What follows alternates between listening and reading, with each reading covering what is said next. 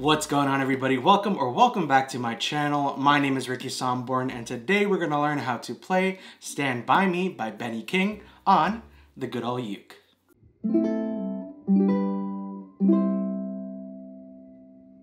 As always with every ukulele tutorial, I will include a skip to section right here where you can skip to either the chords, the chord progression, or the strumming for this song. If you don't want to sit through an entire 10 minute video, I totally get it. I totally understand. But if you did watch the entire thing, I'd love you forever. As always, all links to everything will be in the description below, and also the entire chord sheet will be in the description, which basically consists of the lyrics and chords. Uh, and the chords is actually right above the words, so you know exactly when to change chords. So that will be provided for you for free. It's a gift to you in the description below, so make sure to open the description, check out all the goodies, all the socials and everything. But with that all said and done, let's go ahead and learn the chords that we need for this song. All right, so the chords that we need for this song are A minor, C, F, and G7. Now, a little quick note, if you do want to change out the G7 with a G, you can do that as well. So those are the chords that we need for this song. And if you're like, Ricky, I know all those chords, let's move on to the chord progression or the strumming. I got you. Skip to section will be your best friend. Just go to whatever timestamp it says for whatever section in the video that you wanna uh, go to and learn. But if you're like, Ricky, I just picked up uke a week ago, yesterday, an hour ago, please help me. I don't know where to put my fingers on the uke for each chord. Please help. Don't worry, this is why this video exists. We're gonna go step by step on where to put our fingers on the uke for each chord, and then we'll talk about chord progressions and then strumming. So if you wanna learn the chords, then just keep on watching. All right, so let's learn these chords. As always, I will include a visual representation of where you need to put your fingers on the uke. I just feel like it helps a lot when you can visually see and then have me talk you through it as well. It's like a double whammy, you know what I mean? So let's talk about the first chord that we need, which is the A minor chord. And how we're gonna play this chord is, you're gonna take your middle finger and you're gonna place your middle finger on the fourth string, which again is the top string, fourth string, second fret, and it should sound like this.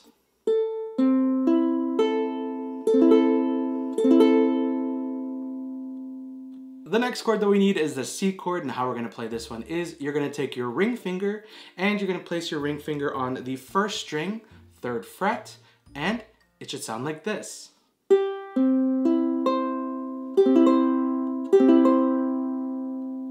The next chord is the F chord and how we're gonna play this one is you're gonna take your pointer finger and you're gonna place your pointer finger on the second string, first fret, then you're gonna take your middle finger and place it on the fourth string, second fret, and it should sound like this.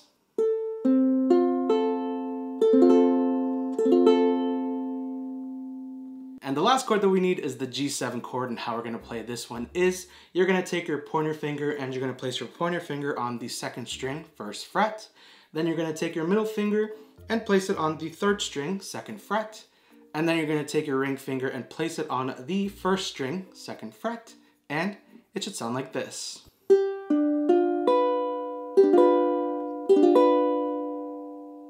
Also something that I did mention in the beginning of this video, if you want to swap out with the G chord, instead of playing the G7 chord, all you have to do for the G chord is take your pointer finger and place it on the third string, second fret, then take your middle finger and place it on the first string, second fret, and then take your ring finger and place it on the second string, third fret, and it should sound like this.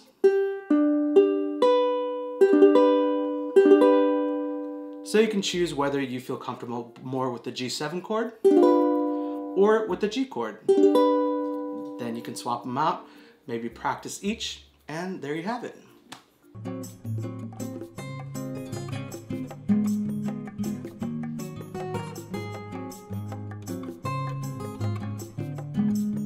All right, so those are all the chords that we're gonna use for this song. As always, if you do need a little bit more extra time, make sure to press the pause button right now, rewind to whatever section or chord that you need a little bit more time on, and once the chords sound crisp and clear, press play, and now let's talk about the chord progression that we're gonna use for this song coming up next. All right, so we just learned the chords. Now let's talk about the chord progression that we're gonna use for this song. So the chord progression is gonna go C, a minor, F, G7, G7, and then back to C. And then you just go on that chord progression again and again and again and again. And then it's just gonna go again, C, A minor, F, G7, and then C. So that's the chord progression that we're going to use for this song. And once we add the strumming pattern, you'll hear it basically, it'll, just, it'll literally stand out and you'll be like, yes, that is Stand By Me. So let's talk about the chord progression coming up next. All right, so we talked about the chords and the chord progression, and now let's talk about how we're gonna play this song. I'm gonna teach you a few different ways you can play this song. The first way is gonna be for the true beginner who's like, Ricky, I don't even want to deal with the strumming pattern. I just want to get through the song. I love Stand By Me. I just want to get through it. Well, uh, let's talk about it. So the first way that we can play this song for the true beginner is just going to be with a down strum. So you can strum down with your thumb and just do a little quicker. So whenever you see a chord change, just strum down.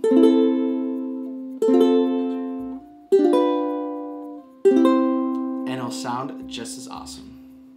As I previously mentioned, the chord sheet will be in the description so you can copy and paste it, keep it for yourself, save it on your laptop, phone, computer, wherever you save things. And the chord sheet basically consists of the full lyrics with the actual chord right above the words so you know exactly when to strum down. All right, so let's talk about the second way that we can play this song, and that is with the strumming pattern. So it's going to be down, it's gonna go again, it's gonna go down, down, up, up, down, up. So the second way strumming pattern that you can do is with a chuck. So you're gonna substitute some of the downs with the chuck. So it's gonna sound like this. Down, chuck, up, up, chuck, up. Let's do that one more time. And three, two, one. Down, chuck, up, up, chuck, so now let's talk about the actual strumming for this song. So we know the strumming patterns that you can choose. So let's go through uh, kind of the tempo and how many times you strum that strumming pattern for every chord. So again, the chord progression is C, A minor, F, G7, and then back to C. So for the C, you're gonna strum twice that strumming pattern. So it's gonna go down, down, up, up, down, up, down, down, up, up, down, up. And we go to A minor, and do that strumming pattern again twice for A minor. Down, down, up, up, down, up, down, down, up, up, down, up. For F, you're gonna do that strumming pattern once, down, down, up, up, down, up. G7, you're gonna do that strumming pattern once, down, down, up, up, down, up. And then C, strumming pattern twice, down,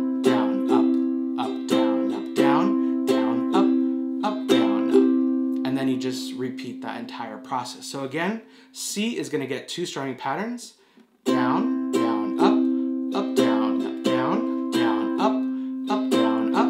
A minor is going to get two strumming patterns, down, down, up, up, down, up, down, down, up, up, down, up. F is going to get one strumming pattern, down, down, up, up, down, up.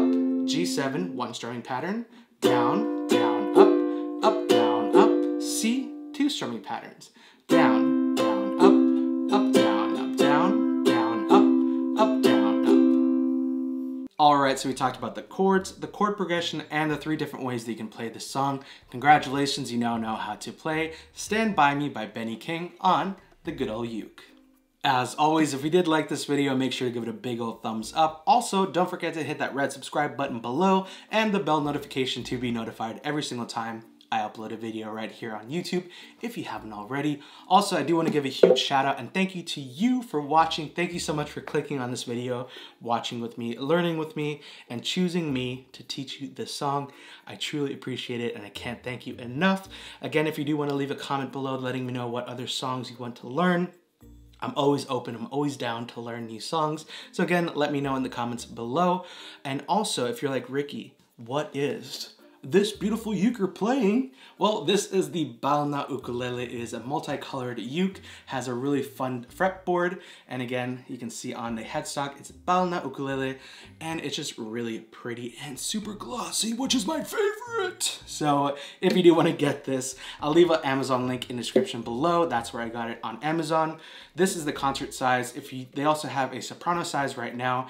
And as I'm recording this right now, the soprano is $72.99 and the concert, which is this one, this is $82.99. And both of them come with a really awesome gig bag, a strap, picks, a tuner, and extra strings. So if you're looking out for a new soprano or concert uke and you want something really fun, I highly recommend this one and it's super glossy and super cool. So again, link in the description below if you wanna get this one. Also, I couldn't make a video without plugging my merch. If you do want to get my merch, link in description below. This is the official Fam merch. Uh, we have hats, hoodies, t-shirts, all the stuff. Again, everything will be linked below. And make sure to tag me on my socials, especially on Instagram. We've reached over 56,000 Instagram family members, and I would love for you to join. My Instagram is just at Ricky Somborn. If you want to see more behind the scenes and kind of day-to-day -day stuff in my life, best way to see that is Instagram. It's just again at Ricky Somborn. Follow me, send me a DM, let me know what video you came from, and if you have any questions, again, Instagram or the comment section below will be the best way to get a hold of me. Literally, I'm always on Instagram, I'm always on YouTube. So again, let me know uh, just more about yourself. I wanna know who's watching. Tell me about yourself, I'm so curious. Alright, anyways, thank you so much for watching this video. I truly appreciate you being here and hanging out with me for these 10-15 minutes. I can't thank you enough for choosing me to teach you this song. And again, let me know what other songs you want me to teach you in the comments below. I love reading them and also I love learning new songs. So thank you so much. I really appreciate it. I'll see you in my next video. Bye.